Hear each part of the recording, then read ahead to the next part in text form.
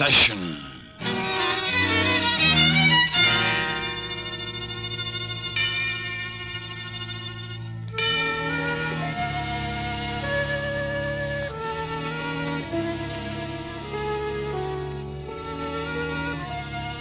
What is the drive? The whiplash that goads man on to forsake family, friends, and loved ones in an insatiable desire to conquer and subjugate lands beyond land. Alexander cried like a child when there was no longer a nation to subjugate and grind beneath his military heel. Little men have often risen to a giant's height in the fanatic desire to reach the stars. In just a moment, you will hear the story of one such man who changed the destiny of the world. A Corsican of lowly birth, whose name became the most feared throughout Europe. It is a story called Napoleon Bonaparte and stars Louis Merrill. A narrative of an insane, driving will which seethed within a mind shot through with the dread and insidious cancer of an obsession.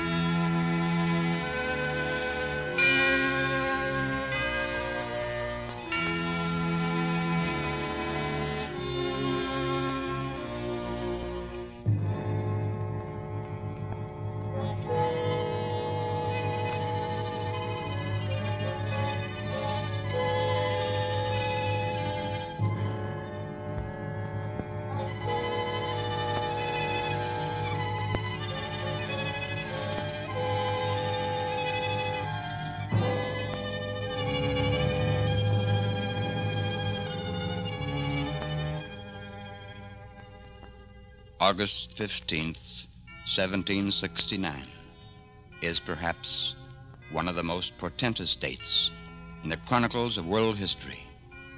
For it was on this day that, in a tiny village of Corsica, a boy child was born. His name was Napoleon Bonaparte, a figure predestined to become the little man of destiny. We shall begin this narrative long, long after Napoleon had risen to the heights of success. He had become Napoleon I, self anointed emperor of the French realm. The little military genius had vowed a conquest of all the Germanic empires, and nation after nation crumbled beneath his heel and gave ear to the dictates of this redoubtable Corsican. Within the borders of Austria, in the city of Schönbrunn, the victorious Bonaparte, smug and self satisfied, reviewed his conquering troops. But as he did, a Teuton youth broke from the ranks of the spectators. Kill him in the name of freedom! Stop that man! All right, all right, you've stopped me this time. But perhaps I shall be more fortunate next time. And I promise you, there shall be a next time. Not in this world. God! I've chains placed on this upstart. Confine him in the palace dungeon under heavy guard. The defiant, aristocratic, intelligent faced young fanatic is dragged by force from the presence of the Emperor to be examined by the brutal lords of the military. But the young man will not speak. Words, threats, trickery cannot move him from his stony silence, for he will speak to no one but the Emperor himself to Napoleon I. And thus, wondering and somehow admiring the courage and firmness of his would be destroyer, Bonaparte orders that the youth be brought before him. You may leave the room, guard. But, Your Majesty. Will Majesty, you I- permit me to repeat myself, monsieur? I said you may leave the room. as Your Majesty commands, and with a thousand pardons.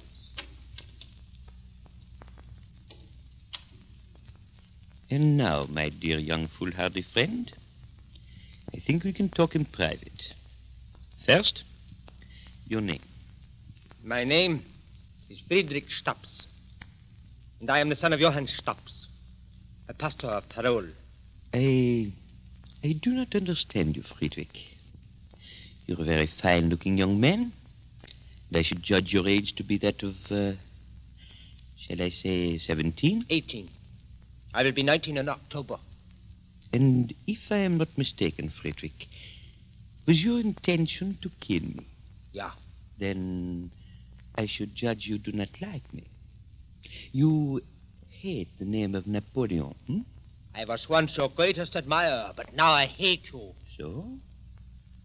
And why did you change? Because you've done nothing but make war upon my people. It is your fault that we are starving to death and freezing to death. Oh, young man, you, you must be mad. Either mad or ill. I'm in neither. I'm in full possession of my faculties. And it was for Germany that I tried to kill you, and will try to kill you again if I ever have the chance. Friedrich, you know the penalty for what you did? I suppose so. You will have me shot. But that does not matter. There will be others to take my place when I am dead. But I do not want to shoot you, Friedrich. You are too young. I'm old enough to know what I'm doing. And what you are doing to Germany. Friedrich, you try my patience. Uh, this picture was found in your pocket. She's a very beautiful girl. Your uh, sweetheart? Yeah. And what will she think when she learns you're to be shot? She will understand. And she will only be sorry that I failed. She hates you as much as I do. Friedrich, you are a perfect fool. But I find it very difficult to give the word that will have you killed. You are much too young to die. And I want to pardon you, Frederick. Then I shall be able to kill you after all. Very well, my young friend. You give me no choice. Guard, Yes, Your Majesty. May take the prisoner back to the dungeons. And it is my order that he shall be shot at sunrise. Very well, Your Majesty. Come on. Goodbye, Friedrich. And believe me, I have never been so sorry in all my life.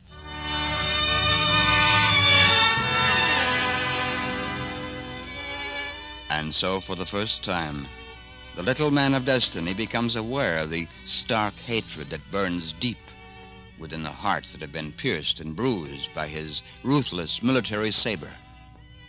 And he knows, too, that if the dynasty of Bonaparte is to exist, he must retrench and strengthen his ramparts, not by war, but this time by peace. Now, within his private chambers, a strange, calculating drama is being played. Josephine? But yes, my dearest, my brave and great emperor. No, no, no, no, no. This is not a moment for jest. I wish to talk with you. Oh, but you are talking with me, are you not? Uh, sit down. Sit down. Here. Here on this chair. Must you look so serious, Napoleon? Ah, perhaps you have been worrying too much. Oh, you must not, else you will have gray hair and wrinkles like Monsieur Chauvenot, and then I should not like you. Josephine. What? Josephine, the war is over. The war? But yes. France is no longer at war with Austria. I have declared a truce. Oh, then I'm so happy. Then we can return to Paris and perhaps have a great ball in celebration. Oh, that would be wonderful, Napoleon. Let me see. Whom could we invite? There is Monsieur- Josephine. Yes. Josephine, as you know, it has always been my dream to become the Emperor of France. Oh, but you are the Emperor of France. Yes. Yes, I am. But uh, when I die, who then will be the Emperor? I do not know. Oh, they will find someone, I guess. Yes, they will. My son will then be Emperor of France, Josephine. Your son? Oh, but you have no son, Napoleon. Oh, I know. But I am going to have one. Huh? A son who shall bear my name and who shall be of royal blood. What do you mean? You are not of royal blood, Josephine. And neither can you give me a son. Uh, Napoleon. Uh, what is it you wish to tell me? I wish to tell you that When we return to Paris, I shall get a divorce. Napoleon. Yes, a divorce. And then I shall marry again. And pray God that he will give me a son. So that Napoleon II shall be Emperor of France when and if they should uh, succeed in killing Napoleon I.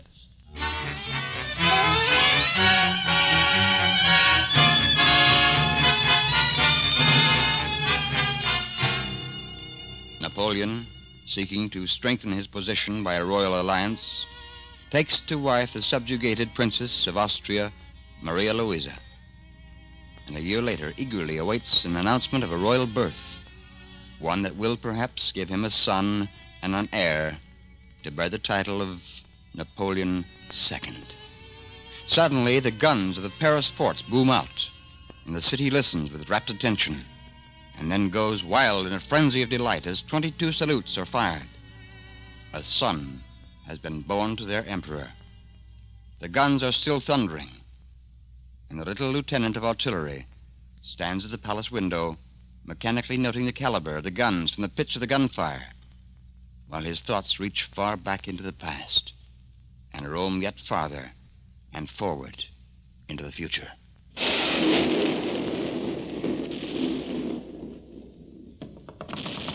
Yes, Andre? Your Majesty. Yes, I know, Charles.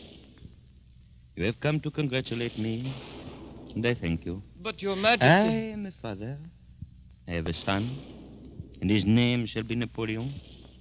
Napoleon II, the next emperor of France. Your Majesty. Charles, they have fired the salute. Why do the guns continue? It is a shameful waste of ammunition. That is what I have come to tell you, Your Majesty. Tell me. Tell me what? Charles, speak up. Well, well, well. Those guns, Your Majesty, the guns that you hear. What about the guns? They are not French guns, Your Majesty. Not French guns? What is this nonsense? There are no other guns within the borders of France. Your Majesty, they are the guns of the coalition. They are marching on Paris. They? May we, Your Majesty, the English, the Russians, the coalition, I beg you in the name of God to do something. Guns of the coalition within France? We. Call my guard. Have the tocsin alarm sounded. Order the call to colors. Quickly, you fool. Or France will not be France, but the state of coalition.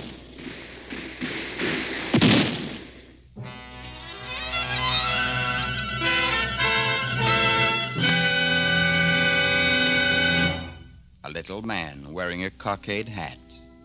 Hmm. A little man who sought to reduce the world to a size smaller than himself. A little man who would emulate the mighty Hercules and bear the world upon his own shoulders. And the meek shall inherit the earth. Hmm. Perhaps Napoleon considered himself the sole beneficiary of that strange pronouncement. Hmm? In a moment, we'll continue our story.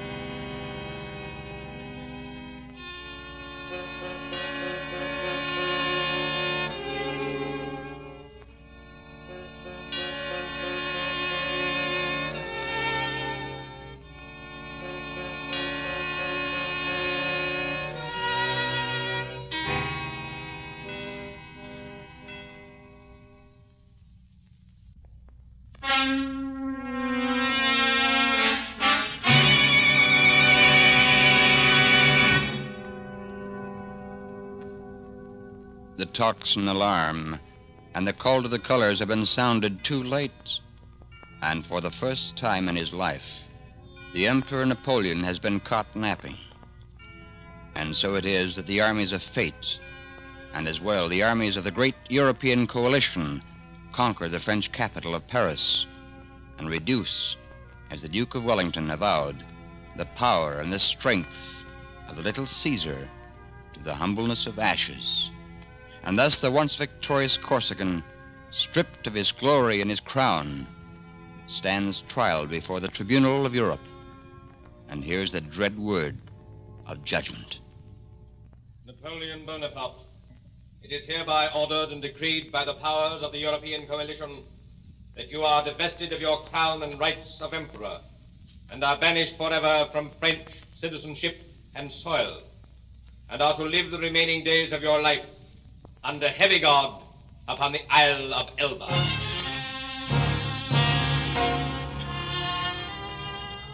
And thus is Napoleon stripped of his cloak of power and banished to the tiny molehill in the ocean wastes known as Elba. But the coalition powers have not reckoned with little man's titanic powers of intrigue, and the word rings throughout all of Europe with the electrifying news that Napoleon has escaped from Elba and is returning with a conquering army to the soil of his empire. And now, within an alpine village, Napoleon escaped, speaks and exhorts his straggling army of a thousand odd men of his old campaigns.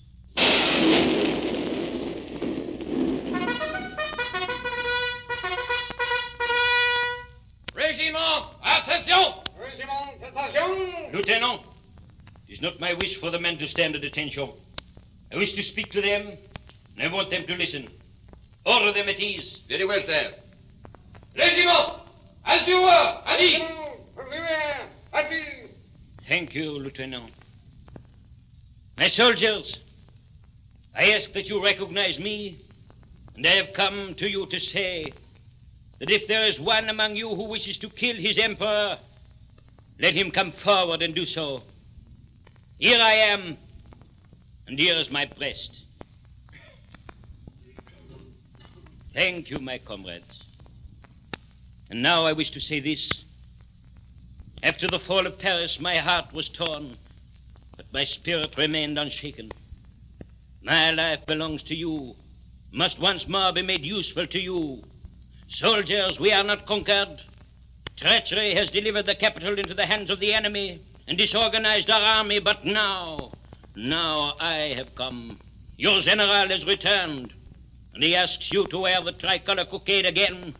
And let the eagles which you bore at Ulm and Austerlitz, at Jena, Eylau, and Friedland, at Eckmühl Wagram, at Smolensk on the Moskva, at Lutzen and Montmirail, once more wave on high. And I promise that victory will guide us forward through the storms, and the eagles shall again fly from one church steeple to the other, until at last they alight on Notre Dame, and again proclaim Napoleon Bonaparte, Emperor of France and Dictator of the world. I wait for your answer, comrades. Vive l'Empereur Napoléon! Vive l'Empereur!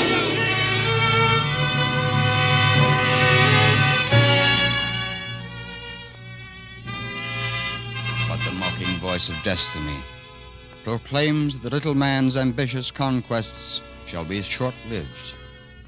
He has not reckoned with the solemn oath of Britain's Iron Duke of Wellington, sworn to the dying William Pitt.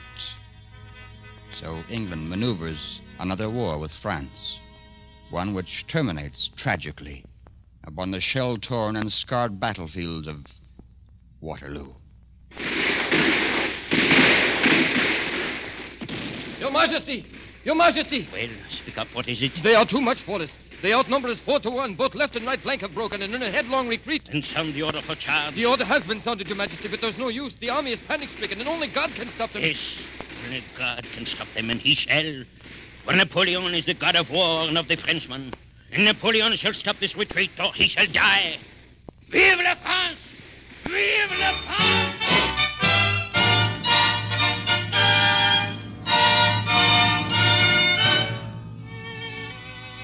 But those blasphemous words and the insane fury of Napoleon are wasted on the sound shocked air of heaven. And even though he rushes into the teeth of the enemy to turn his routed army, his once loyal and courageous soldiers completely succumb to the headlong flight of panic, and the great battle of Waterloo is ended. General Bonaparte, inasmuch as you have declared yourself and your armies to be in utter defeat, I shall apply the military law of the victor. May I have your sword, General Bonaparte? I. I should like to ask one favor. That you allow me to keep this sword.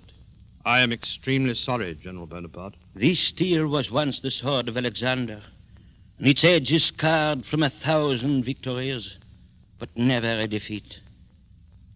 And so, Lord Wellington, I give you my sword, broken in two pieces. And I give you my life in the same way. For like this sword of Alexander, Napoleon Bonaparte is broken.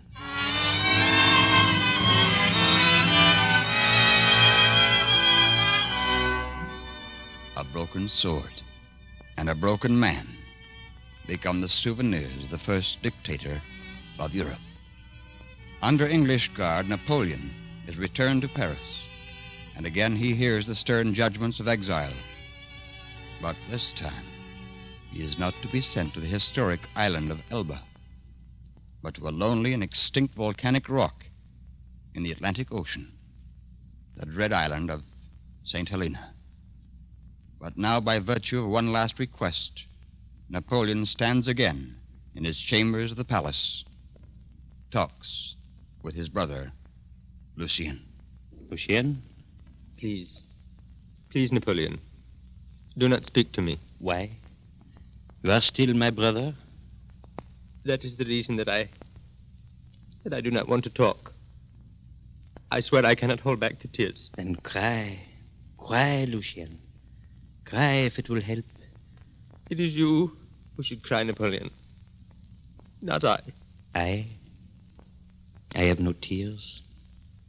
I am as dry as the sands of Egypt. I cannot cry, Lucien. But you, you can cry for me. Napoleon. Thank you. It is good to know that there are those who can shed a few tears for Napoleon. I. I told you. I told you a long time ago, Napoleon. I said to you, Napoleon, you're drunk with power. And you're likely to become sick. Yes, I know. I remember. But why? Why didn't you listen to me? Ambition listens to no man, Lucien. But my intoxication has been like all intoxications. First, I enjoyed the taste of wine. Then I enjoyed the, the exhilaration of drunkenness. Then the drunken frenzy. And now? Now the sickness. I think Plutarch would have called it the, the law of compensation. Oh, please, please, Lucien, shed no more tears for me. Save them for my death. Napoleon, I. Yes? Andre? Maria, Napoleon. will you, will you leave us alone, Lucien? But yes. Of course, Napoleon. Maria, my dearest. No, no, no. Please, no, Napoleon. No? Please do not touch me. I'm sorry. So you too. You too would be named Brutus. No. For it was not I, I who stabbed you, Napoleon. It is only yourself whom you should name Brutus.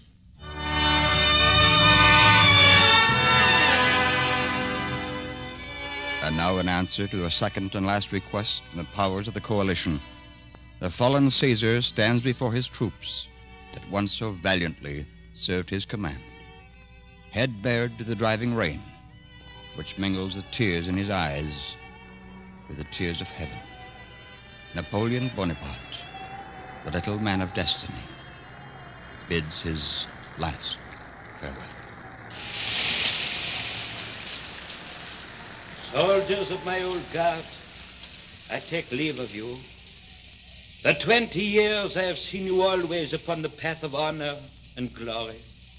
And during the last few weeks, you have been models of bravery and fidelity, just as in the years of good fortune. But there would have been civil war. And that is why I sacrificed all other interests to those of the country. And I am going away. You, friends, I beg of you to continue to serve France. Her happiness has been my only thought, and my good wishes go with you. Do not mourn my fate, but remember that if I have determined to go on living, it is only that I may increase your fame. I shall write a story of the great deeds we have wrought together. And so, farewell, my children. I would gladly press you all to my heart, but at least let me kiss your colors, the flag of France. Goodbye, comrade. And may God bless you. And vive la France.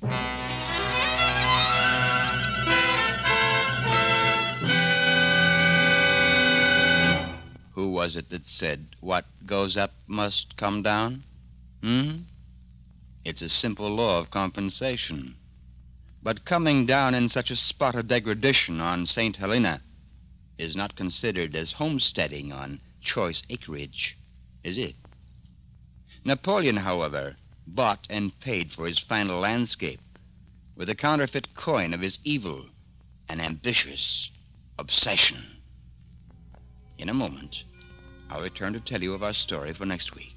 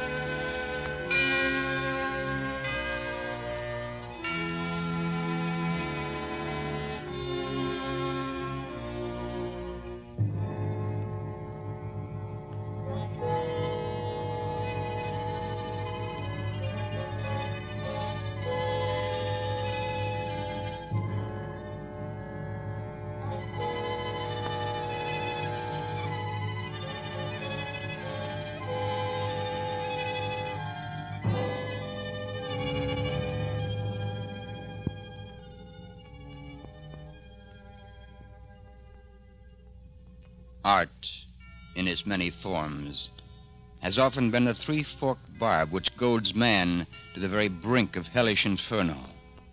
History is filled with the stories of those to whom colors on canvas were more than life itself. You'll hear such a story, a drama in which death painted a picture in obsidian black, contrasted with the vermilion reds of murder.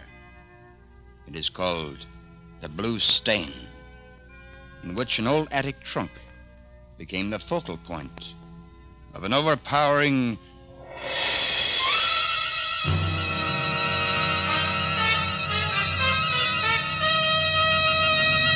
obsession.